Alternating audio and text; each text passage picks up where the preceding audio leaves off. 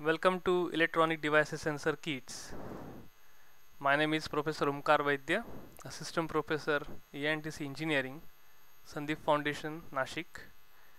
In previous experiment, we have studied simulation of frequency response of single stage CS amplifier and we found out bandwidth and we have also studied the effect of coupling and emitter, oh sorry, source bypass capacitor in CS amplifier circuit as well as the external capacitor which is shunting capacitor or load capacitor on frequency response.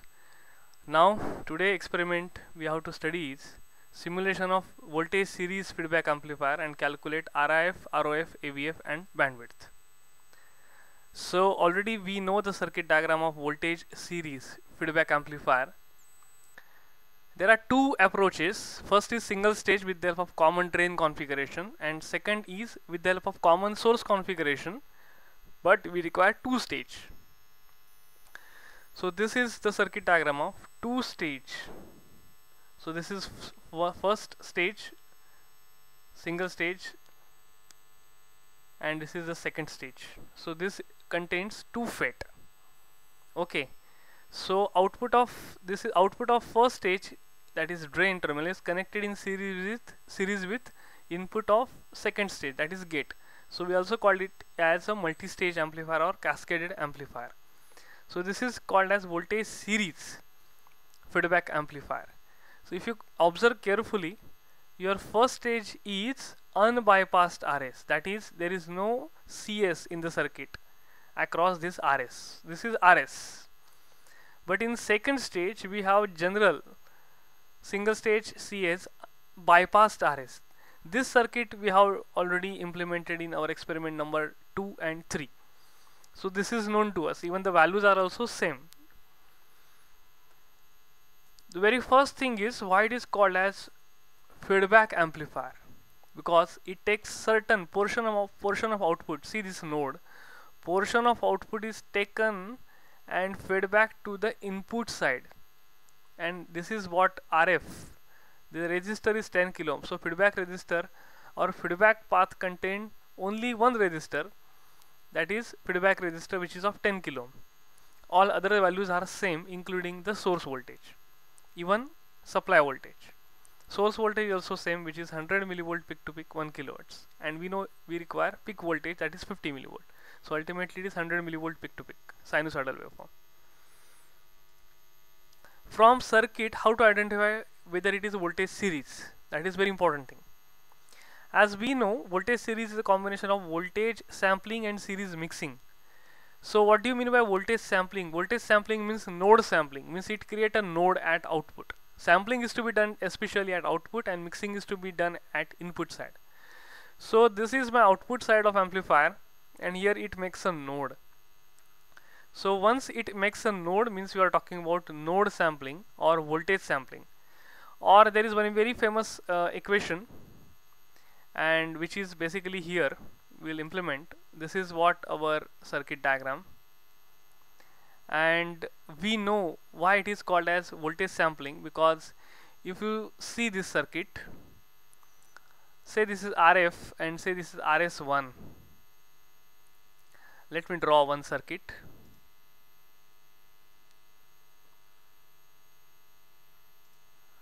for example this is my one voltage node and this is resistor. Here is one more resistor. And here is ground. And here is one more voltage.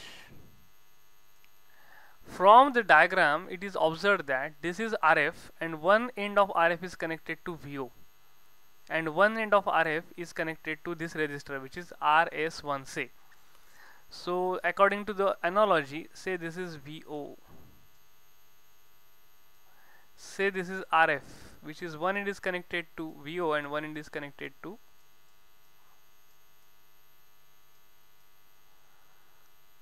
RS1 say this is RS1 and this is what VF because we know across RS feedback voltage is generally we have to obtain because RS1 is imposes negative feedback. This RS1 imposes negative feedback in the circuit.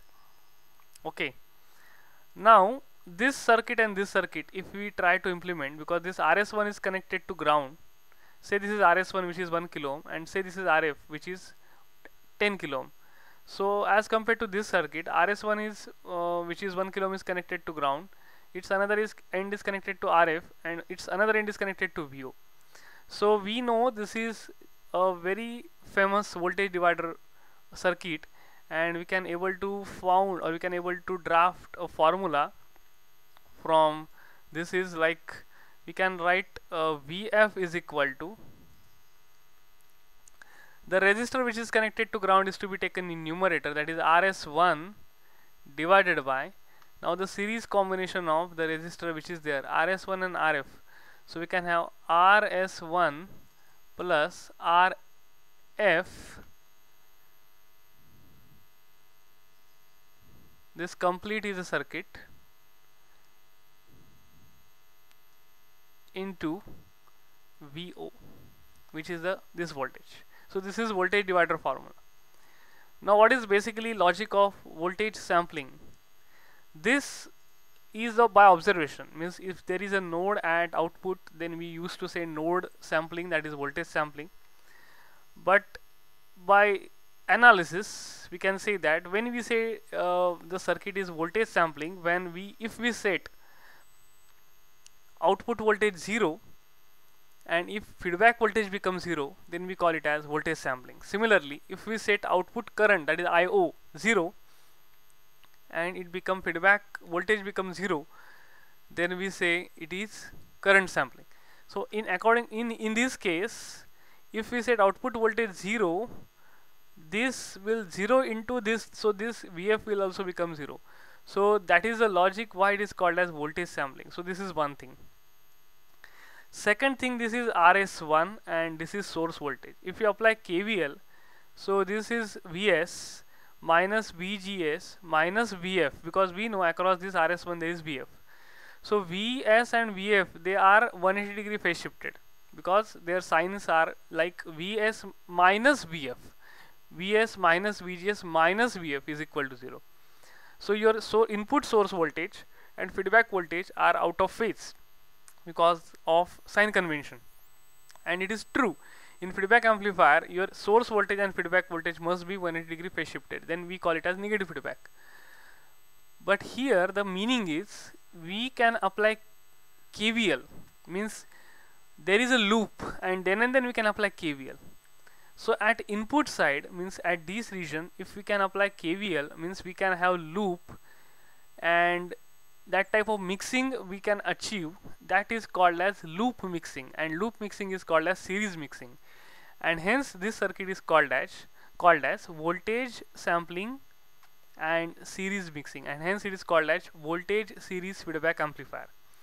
So this type of voltage series feedback amplifier uses two stage that is first stage and second stage. And reason is very quiet because your input signal original input signal and feedback signal must be 180 degree. That is very common so that is very very much important thing. Now in this case why we are not use common drain configuration type of voltage series? Because which is also one of the type of approach to draw voltage series feedback amplifier. But that is a common drain configuration. And we know common drain is source follower and it is not truly a good amplifier. Because its input voltage is more than output voltage. So it contradicts the definition of amplification so practically common drain configuration type single stage voltage series amplifier is never used and hence we use two stage voltage series feedback amplifier which uses both stages are of same type which is same configuration that is common source now in this experiment what is expected? In this experiment we have to calculate the value of RIF, ROF, AVF and bandwidth and we have to compare these values with respect to without feedback amplifier. So now first of all we will try to find out these values. So we construct this circuit as per the circuit diagram. And we have the same value if we uh, go through this. We have VDD 12 volt RD both 2.2 kilo ohm all coupling capacitors of same value which is 10 microfarad. Source bypass is 100 microfarad. All drain uh, sorry all source uh, resistances are 1 kilo ohm and all gate resistances are 1 mega ohm. Only difference is this RF feedback resistor is 10 kilo. Now I will run the circuit. So double click this oscilloscope and now we'll run this. So switch to this on this side so that we can have this type of waveform. So we have to set your time base channel A channel B such that we should get this waveform. So before that I will let you know that channel A is my output and channel B is connected to input so channel B is input. So let me do arrangement like that. Channel A is my output so that is to be so with the help of this Y position we scroll this output downside that is lower side and I will scroll this channel B at upper side. And I know it is 100 millivolt so and here the scale is 5 volt per division so it cannot be seen so you have to change this to 100 millivolt. So we'll reduce this channel B uh, volt per division. This is especially called as volt per division knob and hence we are we got such type of ampli amplitude uh, that we observe. Similarly here I will uh, vary this volt per division knob so that I can able to see the output. Now I will still uh, make uh, change in this. And one thing is very important this is AC output voltage. So this is AC output voltage. So both channels should be connected to AC coupling. Now the lower one is my output and upper one is my input. So if we vary the time per division scale then we can able to see the waveform very clearly. I will reverse it so that we can able to see the waveform very clearly. Now I will pause it okay. Still I will uh, okay. So we can able to see the waveform. Input and output are in phase because we are using two stage. So input to output 180 degree phase shift and again uh, output to input again 180 so they definitely the voltage series feedback amplifier phase shift is 0 degree. Concern is your output is the lower side and your input is upper side. So your input uh, is basically like this. So it occupies one division. If you see if you make it lower then it this will line will go to lower side and this is upper. So this one complete grid is one division. Uh, similarly for x-axis also. Similarly for y-axis as we have studied in our um, breadboard experiment that is physically we have seen on CRO so this is a virtual CRO so this is complete one division and the knob is at 100 millivolt. Similarly, we can have one more uh, output voltage here and we can see that the this signal occupies not complete one division but less than one division. We can approximately we can say it's 0.9. So output voltage how can I calculate from such type of thing is how many division occupy this waveform is 0.9 because see this complete is a one division and still uh, this signal does not touches this complete uh, this this line. So this is less than one division. So this is 0.9 so 0.9 into what is uh, volt per division now? Because I am talking about this is channel A and this is channel B. Channel B is your input and channel is output. Channel B if you talk about channel B that is input I know it is 100 millivolt peak to peak but still if we can verify from this waveform as well as this uh, rating. So division is 1 this waveform occupy one division and we have a volt per division knob at 100 millivolt. So 100 millivolt into one division. That is nothing but 100 millivolt peak to peak. And that is nothing but your input. Similarly your output is 500 millivolt per division. And the knob is at point uh, knob uh, sorry the knob is at 500 millivolt per division and we have 0.9 division say so 0.9 into 500 millivolt, so we can have 450 millivolts. Similarly, you can get output voltage is a 450 millivolt. So your, as your output voltage is 450, so we know the voltage gain that is AV, and as it uses feedback uh, RF 10 kilo, so we can say it is AVF, which is just a ratio of output voltage upon input voltage. So this is 4.5. So one thing is calculated that is AVF as per the syllabus and AVF is calculated which is 4.5 now next is to find out Ri so there is uh, one methodology to find out Ri and the methodology is like this. Between this source voltage and uh, negative terminal of capacitor we can add or we can uh, connect 1 mega ohm resistor in between them. So now you connect go to resistor which is 1 mega ohm and it is to be connected in between this terminal. This source and the emitter so sorry this source and negative terminal of coupling capacitor. Then the, whatever the voltage that we'll get that is called as VOS the previously is VO and now we'll find out the value is VOS okay. Because we are at input side we have connected one resistor. So definitely as compared this voltage this voltage VOS voltage will be less. Now we'll run it. See this. Voltage is reduced so definitely voltage will be reduced. Now I want to see that voltage how much it is. So from this diagram we can see that it is go beyond one division. Means this diagram this particular waveform go beyond one division. I can say it is roughly 1.2 division it occupy. And the knob is at 200 millivolt. So we can say 1.2 into 200 millivolt that is 240 millivolt. So we can say that VOS is 240 millivolt and once you get VOS we can get AVS AVS is just a VOS upon VN which is 2.4 how to find Ri so there is a very famous formula. AVS is equal to AV into Ri upon Ri plus RSI RSI which is 1 mega ohm that is connected in between source and uh, negative terminal of coupling capacitor. So if we solve because we know AVS 2.4 we know AV uh, which is AV and AVF is here same because we are talking about with feedback so this is 4.5 and this is 2.4 I know this 1 mega ohm so unknown is Ri and if you find out that is RIF because it is with feedback and which is 1.14 mega ohm. So this is the way to find out second parameter that is RIF so this RIF is calculated. Now next is ROF now to find to find ROF we again make our original circuit. Before that we have to um, derun that we call it as if it is in run condition then we have to switch off that run mode. Now I will delete this and I will make original circuit as it is and I will use one resistor which is RL which is of 1 kilo ohm. So now you take 1 kilo ohm resistor which is of output resistor RL load resistance. We make 90 clockwise and we write here. So that is RL so we connect here that is RL resistor and now see again voltage will drop dramatically. Up till we know this type of voltage and still voltage will drop we'll run it and we'll see the effect. So voltage is reduced somehow. So how much the voltage is reduced as we have 1 kilo ohm resistor?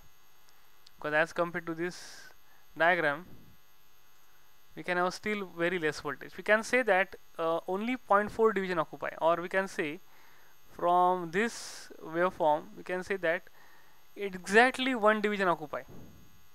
Okay we call it as VO dash. So by connecting this RL at output and whatever the voltage that we are going to measure we call it as VO dash. And here it, it can be two uh, it can be one division and the knob is 200 millivolt. So we can say it is VO dash is 200 millivolt into 1 so it is 200 millivolt. So your VO dash is 200 millivolt. And there is very famous formula for RO which is VO minus VO dash upon VO dash into RL where RL is 1 kilo VO dash is just found out 200 millivolt. And VO which is obtained earlier is 450 millivolt. So here we can say ROF truly is 1.25 if you solve this we'll get 1.25 kilo so such a way we can able to find out uh, IVF RIF and ROF now next is to find bandwidth. So that is again a similarly that in case of frequency response how we can done same is the fundamental. So for that we have to close this and now off switch and now take it this RL and now I want to find out bandwidth. Then go to again simulate analyze AC analyze and we'll see whether this um, are in proper condition means this sweep type is decade vertical scale is decibel and now I want to see the output node the node number is 7 as if you see at uh, here at this arrow. Above this arrow we have this is 7 so my output I should uh, mention is 7 so it is already 7 right? So if it is not then we have to add like this. If it is something very other uh, node already if it is available in this particular window then we have to select it we have to remove it and we have to select this 7 and we have to add it and we have to simulate it. Okay. Now I want to see frequency response. I don't want this frequency uh, phase angle so that will be cut. Okay now I will see this frequency. So I will first of all make it contrast then make a grid then make a cursor and then I want to see AV mid. So as in frequency response we know X Y1 X1 and Y1 we can able to vary. So Y1 is 12.8974 so that clear AV mid is 12.8974 decibel like this. Okay. Similarly if we know AV mid is 12.8974 so your FL and FH must be at AV mid minus 3 so it must be like uh, 9.89 like this. So we will try to find out y1 as 9.89 so if you see the y1 properly 9.85 like this. Similarly y2 if you want to vary and that should be 9.85 like this. So this is so sensitive that you should be very careful about varying these cursors. So this is approximately so at 9.8509 say uh, that that type of minus 3 dB we can have x1 which is 3.39 hertz. So FL we can say that 3.39 we can have any other reading so here is 3.45 I got earlier. Okay but uh, here I got 3.39 so this is up to the user how much it vary uh, very carefully. So it must be it is very sensitive. So it is very skillful job to find out very precise value of AV mid minus 3 at particular frequency so here also at FH we have 9.88 that is Y2 and your X2 is 21.69 megahertz. So their FH value is 21 point something megahertz. So if you the what is the bandwidth with feedback so it's 21 point something minus 3 hertz so definitely it's 21 megahertz roughly I can say that. We can put the value and we can find out by using calculator but roughly we can say 21 megahertz can be the bandwidth so this is what about calculation of RIF, ROF, ABF and bandwidth. But we have to not uh, submit our conclusion here. We have to again go further. That is we have to again study the circuit without feedback and again find out all these readings and compare our final results with feedback and without feedback. And uh, as per the theory uh, that we have studied uh, whether your RIF increases or ROF decreases, AVF decreases or bandwidth improves in case of with feedback as compared to without feedback. If this happens or not, if this happens means this is successfully run experiment. So we will now try to find out all these readings for without feedback. So generally for without feedback, now I will cut it. I will close this. So now generally for without feedback, what is general in theory, what happens? Without feedback, this RF is to be connected in parallel across input like this. RS1 and RF must be in parallel at input side. And at output side, this RF and this RS1 must be in series. So means what happen 10 kilo ohm parallel with 1 kilo ohm is much is the resistor which will come here and 11 kilo ohm resistor will come across output. But once we do these things means in practice if we implement such such thing then we cannot get a, a proper output. So uh, rather by doing this uh, modification as which is mentioned in theory we directly remove this RF which is 10 kilo ohm from the circuit and we'll try to uh, find out all these values like AV, RI, RO and bandwidth. But one should also know uh, what is the theoretically we can how we can do the modification. Theoretically again I will repeat at input side the effect of RF and RS1 is in parallel and output side the effect of RF and RS1 is in series. So I will remove uh, practically if we want to build a voltage series without feedback amplifier I will remove this 10 kilo ohm directly. And now I will do again what we have done already in voltage series with feedback similarly. So as input is again same now I will find out output voltage. I will run it see the output voltage is improved because already we know with feedback gain reduces. So output voltage also reduces. But if we uh, remove feedback then we can say that gain improves. So here gain also improves. So now our next job is to find out how much gain it is. If we found out carefully so we can say that we first of all pause it. We can say 0.8 division it occupies. This is output so if you say this is 0.8 division occupy 0.8 into 1 so we can say it's 0.8 volt. So 0.8 volt is 100 millivolt. So your VO become 100 millivolt for with without feedback. So yes so without feedback VO is 100 millivolt so gain is 8 directly. Okay.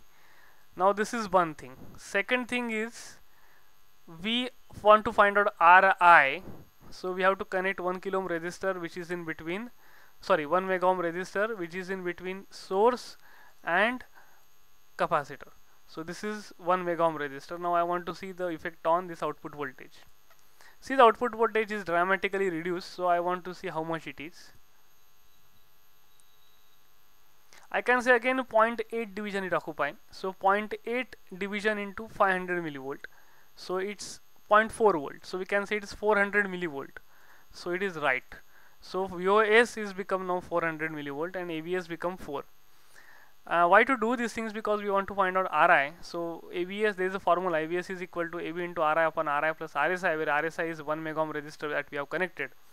ABS is 4 and AB is 8 that we already known. R unknown is RI if you if you solve this we'll get RI is 1 mega ohm. This is one thing then next is uh, again remove this uh, resistance which is of 1 mega ohm and connect your original circuit as it is. And now use 1 kilo ohm resistor uh, that is RL and connect at output. Okay. Now I will connect at output.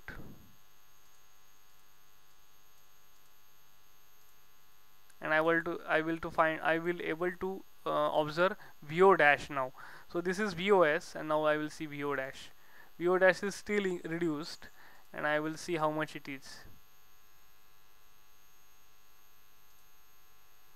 I can say it is uh, 1.3 like 1.3 division it occupy. It may be 1.2 that is up to the user how carefully it observe. So this is say 1.3 division so 1.3 into 200 millivolt. So we can say 260 millivolt like that. Uh, I will see whether what is my reading. Yes 260 millivolt was my VO dash. So definitely I have observed it is 1.3 division so VO dash is 260 millivolt so once we know VO dash 260 there is a formula for RO is VO minus VO dash upon VO dash into RL where RL is 1 kilo ohm, VO dash is 260 millivolt and VO was 100 millivolt. So we can able to find out RO is 2.076 kilo ohm.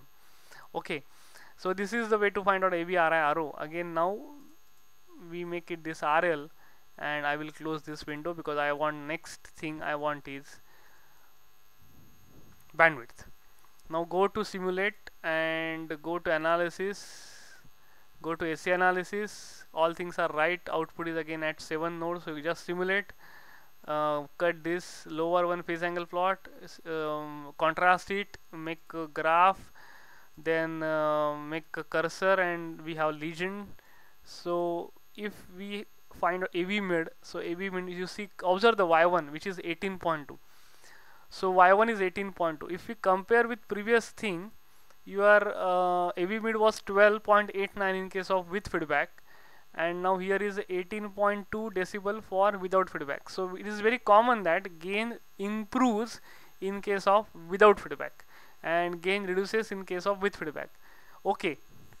Still we can able to prove this why AV mid is right 12.89 we find out we know already AV mid in decibel which is 20 log to the base 10 of AV so if you find out 20 log to the base 10 of 4.5, you will get definitely 12 point something decibel.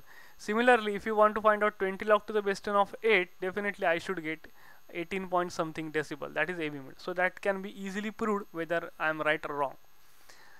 So mine, I know that AV mid is 18 decibel. Now I want to find out FL and FH, which is to be less than minus 3 dB from AV mid. So it is 15.2 so I will try to maintain my y1 is 15.2 so that here similarly for y2 uh, cursor to 15.2 so that I will able to find out fh okay uh, now precisely I have set and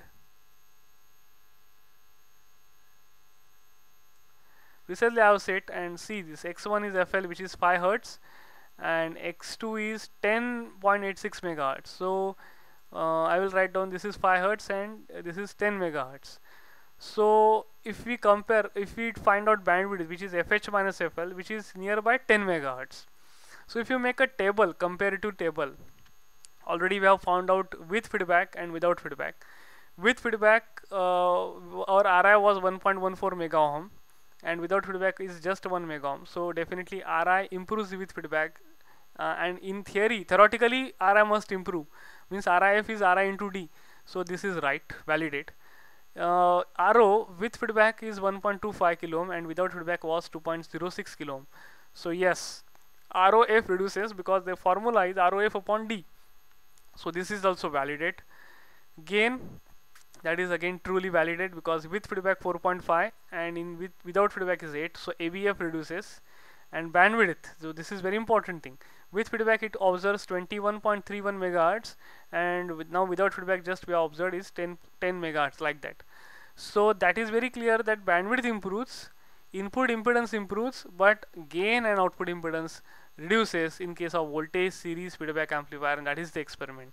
So this is what about the experiment thank you